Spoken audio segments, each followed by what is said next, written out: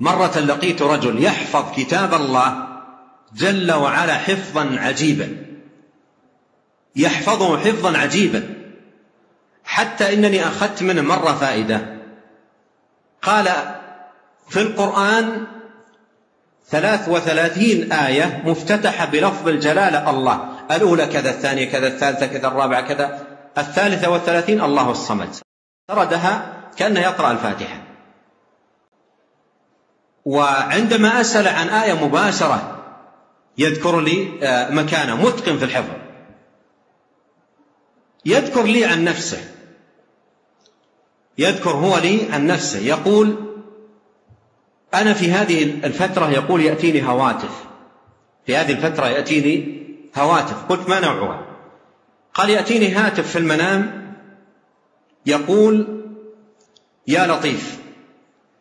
هكذا. يأتي هاتف المنام يقول يا لطيف 16 مليون وستمائة وخمسة وخمسين مرة. يقول في إذا أصبحت قلت هذا شيء من الله وهاتف من الله عز وجل ولا بد أن أقوم به.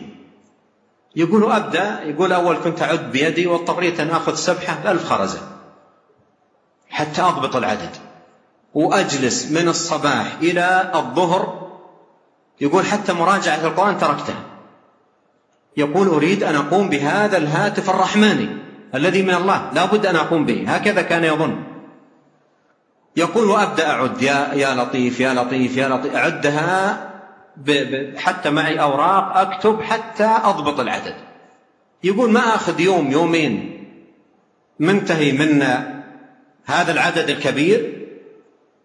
يأتيني هاتف آخر في المنام الله الصمد ثلاثين مليون وكلها بالملايين.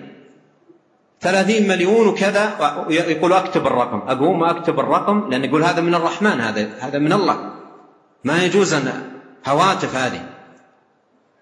يقول أبدأ أعد أعد أعد أعد. يقول الآن يقول هو نفسه يحدثني شخصيا. يقول الآن خبلت أنا الآن. القرآن ضيعته. وبدأت تتفلت من الآيات. وأصبحت أوقاتي جالس في في زاوية ومعي سبحة طويلة وأعد. قلت هذا العمل الذي تقوم به كله باطل. كله باطل وليس من دين الله ولا مما يقربك إلى الله ولا رب العالمين يرضى عنك.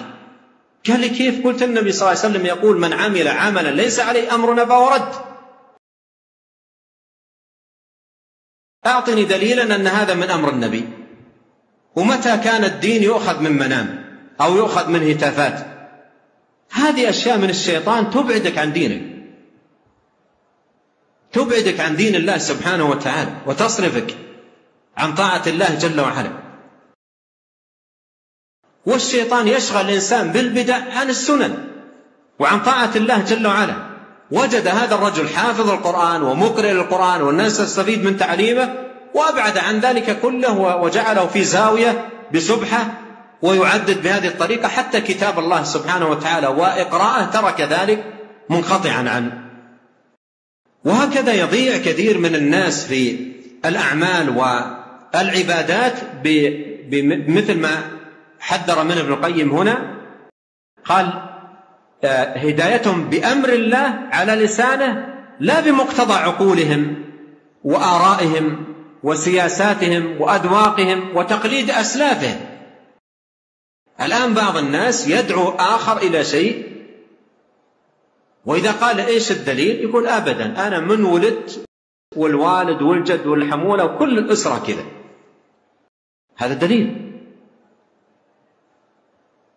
الدليل يقول عليه الصلاة والسلام تركت فيكم ما إن تمسكتم به لن تضلوا كتاب الله وسنتي.